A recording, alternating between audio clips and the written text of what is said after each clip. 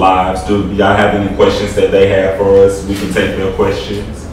If y'all have anyone out there watching us and us and want to send me any questions, I'm taking questions too, you guys. So if y'all got any questions for me, send them to me, and I can pose them to the group here, and we can just kind of get some feedback on. Can I ask for the information to be said again for those who might not have heard it the first time? Yes, go for it. There is help. So Project Celebration, uh, we are a domestic violence and sexual assault program. Um, Our phone number is 318-226-5015, and all of our services are free and confidential. So my name is Ruby Sear. I'm with Sears Mediation and Counseling Services. I'm available Monday through Friday from 8 to uh, 5, and my office is located at 610 Marshall Street, Suite 619, downtown Sweetwater. And I'm also specialize in trauma therapy. Valencia Jones Edwards of Samaritan Counseling Center. I do uh, anger management and batterers intervention. So if you have anger issues or if you have problems with abuse or have abused somebody, call and make an appointment, 318-221-6121. Um, yeah, yeah. Um, life coach, wellness coach, shaman. Um, I can be reached at ascensionave.com. You can book you an appointment there. My ultimate goal is from A to B. Whatever it is that you're going through, if spiritually you're led to me, we're gonna make it work. Also, it can be reached at Facebook, IG, whatever it is. If you see me, it's all love. We're gonna make it work, and we're gonna get you there. I'll go ahead and give one more resource or a couple more resources. Uh, For anyone who is actually trying to seek shelter or assistance from a situation, uh, you can refer to the YWCA of Northwest Louisiana. You can also reach out to the Providence House located in Shreveport. You can just Google Providence House and it'll be the first thing that pops up. Um, And also if you have children that have witnessed uh, any type of major crime, uh, violent crime or sexual assault or anything of that nature. Uh, You have several resources through Project Celebration, through Samaritan Counseling, also through the Gingerbread House located in Shreveport as well. Um, With that being said, my positive words are prayer, patience, and perseverance. I'm Jadidra. I'm a survivor and I'm Mary Dumars, and I'm a survivor of uh, childhood abuse. Alright, so we're gonna just get started with the um, Love Us First panel. Um, before we start, I just want to thank everybody for coming out today, for y'all taking out y'all's time to come and sit in. We just have this discussion over these issues that we feel are important to us as a community of people. Any specific questions? I'm just gonna be jumping all over the place, so just, just kind of roll with us. So the first question that I'm going to ask, what is domestic violence, since we're talking about domestic violence? Domestic violence is when there is a dispute, conflict, sometimes violence within a family. Uh, may not necessarily be physical violence. It can be emotional, it can be social, it can be religious, it can be financial as well. And it doesn't always have to be between the um, male and female. It can also be elderly violent as well as teen and children. All that could be included in the issue of domestic violence. The next question, hmm. Do you think lack of parenting contributes to the way we see ourselves? I would say yes, you know, because we're in the South, this is the Bible Belt, and they often say raise up a child in the way that they should go, so whenever they get older, they will not depart from it. You know, but if we don't have that influence, okay, you're a little bit lacking in particular areas. You know what I'm saying? So, I, my opinion is most definitely so. May I add on to? I do think that parenting and that has an issue a lot to do with uh, how we see ourselves. Mm-hmm. But I also think the community. So if my parents are talking negative to me, and they are seen as maybe not the best parent, but if my teacher, if somebody else in the community see me, like my teacher say, oh, you're smart, you're good. You're gonna be somebody. I think that can help. So I do think the parents add to it, but I think as a community, Right. that is the key. That is the thing that can enhance whoever we are. It takes a village to raise a child, right? Right. So, you know, a lot of times people come out about being sexually abused or went through domestic violence, but it's years down the line or it's months down the line, and people are quick to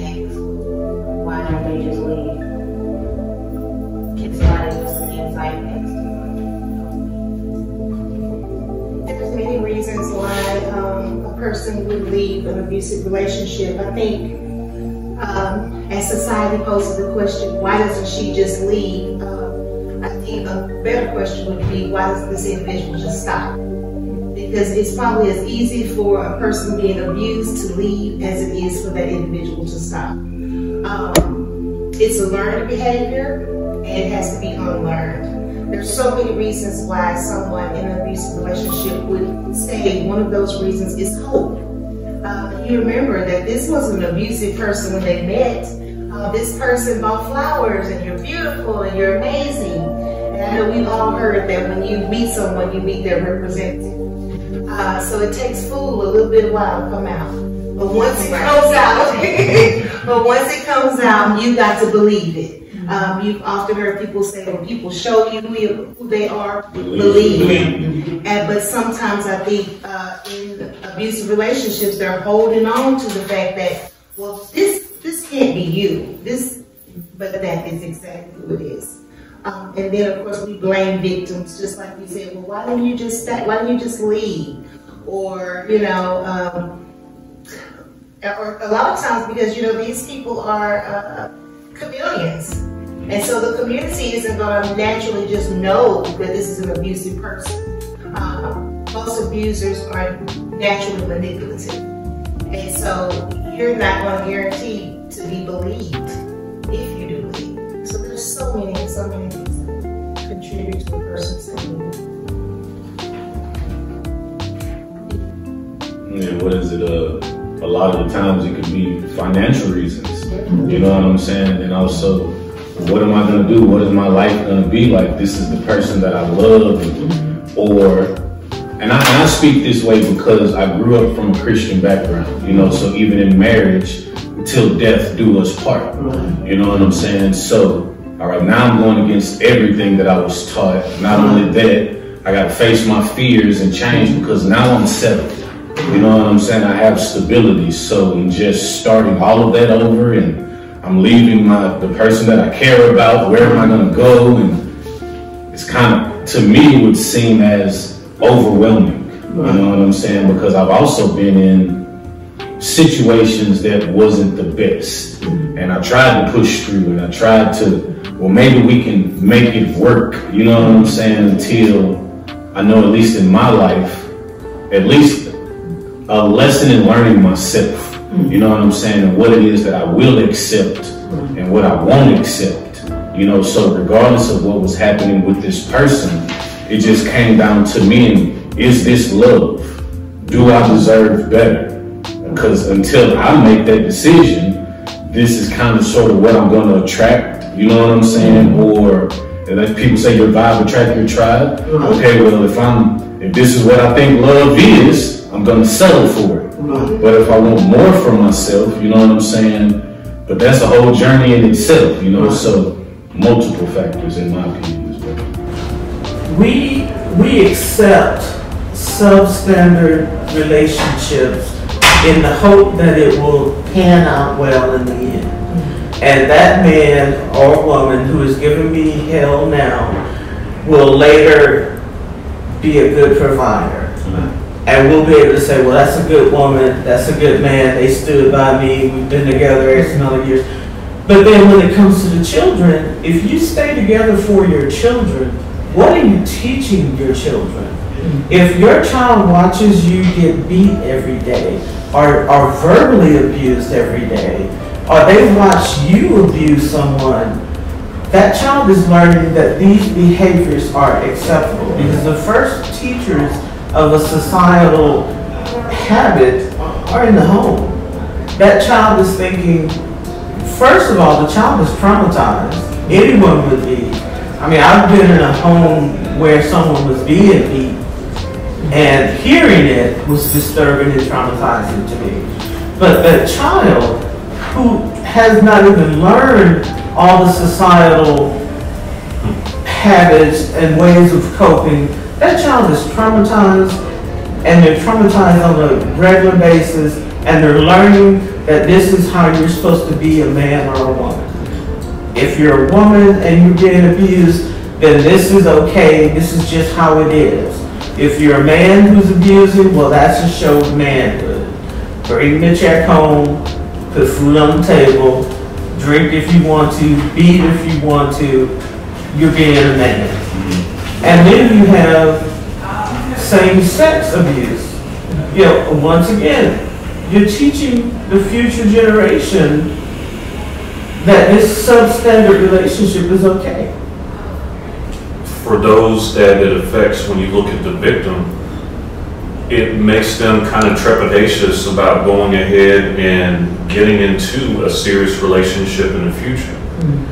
If I've been in this horrible relationship or multiple horrible relationships to where I was the victim, it's going to make me go ahead and say, well, you know what? Something is a common additive here. Let me just say to hell with common relationships. Mm-hmm. And then people criticize people for not getting married or not investing in a long-term relationship. But if we're still being affected emotionally, mentally, spiritually, physically by everything that's happening here, that's why you don't have a lot of people seeking a long-term or even a serious relationship. Mm-hmm. Some people label them as loose or not really caring or loving. No, sometimes people care too much to where they don't want to give themselves up emotionally. They don't want to open up their heart all the way to possibly be hurt again in that same fashion. I know a lot of times the men that I counsel, I counsel men who abuse women. And the story is always the same. Of course, it may be different, but just the ones I've seen over the past, past few years. They come in, they talk about she should obey and a lot of B words and call me out my name and everything. They're super angry. Mm-hmm. But then when you hear that story, it's always the same for me. I had a 32 year old man sitting there. He's swollen. We just got prison for beating up his wife and stuff. And I said, "So tell me about your dad." And he was just. I remember one time my dad beat my mom so bad that he had gave her a head wound and blood just gushing out. And I just knew my mom was dead. So he said, "I'm six years old. I run upstairs." I put the blanket on. Now, as he's telling his story at 32, he starts rocking. He was like, and I was sitting in the closet and I was rocking. I was like, my mama dead, my mama dead, my mama dead." And he said, "I just kept rocking. I'm watching him rock, so I just broke out in tears because I'm looking at 32 is now six now." And, and he was like, I still have nightmares about this. The stuff my dad would do to my mom was just torture. And so when he got through, I'm crying and he's crying. So when he got through, I said, so then, why are you the monster in your, in your kids' nightmares now? And he finally thought to himself, wait a minute, I'm doing the exact same thing. Because he didn't realize that subconsciously you're repeating that same thing. These men keep telling, it's the same story over and over. They come in, they're angry, they hate me because I'm a woman, but then when you start talking to them, it's the same thing over and over. So these men grow up to abuse. Okay, that's going. We're gonna roll into the next question. I'm just gonna say, how do you deal with someone else's trauma? So you know someone who's been traumatized, and you have to take on just being a friend or being in a relationship, or there's someone that you're married to, and they're dealing with trauma. How would you how would you cope with having to be that person dealing with trauma? I think It just kind of going with the flow with that person. I know with, with me and, and my situation, I know I wanted, uh, I didn't want to talk about it all the time. You know, when, when I came in with my friends or, or, or family members, like I wanted them to be like, let's go do something. Like, let's just go get something to eat or let's go do this. I don't want to talk about it. You know, and, and, I shared it when I shared it, but it was like, you know, I don't want to talk about this. Uh, but then I also have people, you know, a lot of my friends or family, you know, push me. You know, they're like, you ain't got time to be crying. Like, you know, you finna grieve, you got a week, get over it, let's move forward. And, and you know, and I had like one friend, well, you know, I had to start talking to him. And I was like, I'm not that same girl. I'm, I'm not that same girl anymore. Like, I had this major life event. I know I'm doing a lot, but god dang, give me a break. Like, I'm not, I'm not able to, you know, be this this this idea of who you thought I was before. And, and so a lot of times I think it's just like, you know, just giving them that little space, but give them other things to do. And like let them talk about it when they want to talk about it, but not forcing a conversation, not asking them all the time, how you doing? Mm-hmm. And it's like, I'm here, I'm living, you know. What to say was, as a female growing up in those kind of environments, for parents, you really have to make sure that your daughter feels safe. Because as a female, growing up in that environment, I ended up dating nothing but thugs. Because who else was going to protect me but thugs? Mm-hmm. I had to have a monster to protect me from other monsters. So if L Dog got the biggest gun, I need to be close to L Dog because I won't get shot by everybody else, or I won't get beat up or robbed or everything else. It was really violent. And so as a female, you learn to align yourself with power. Whoever has power, you're going to be less likely to be sexually harassed, raped, robbed, beat up, or shot or stabbed by other girls. And so I had to align myself with that. And it wasn't until I became an adult that I realized why thugs were so appealing. Because it was conducive to the environment. They, they provided protection. Nobody messes with you if you're L Dog's girl because they know L Dog is crazy and has seven AKs. So that's something you don't have to worry about. But if you had that same protection from coming from your own household, then you would not need that. Please y'all love your uh, street names, by the way.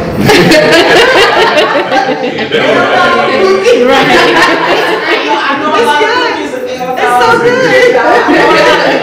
I love it. Now there's, All right, guys. So we are winding down the Love Us First panel. Uh, this is Jerry Thomas, and I want to thank all of my guests for today and my co-host Jadija Williams. Uh, and we had a wonderful time. We're going to just say goodbye to you guys, and we will be back with another segment of this. This will not be the last time y'all will hear from the Love Us First panel. So until next time, y'all take care of yourselves and stay positive, man. It's important that we keep a positive attitude and a positive mindset. Y'all take care and be blessed.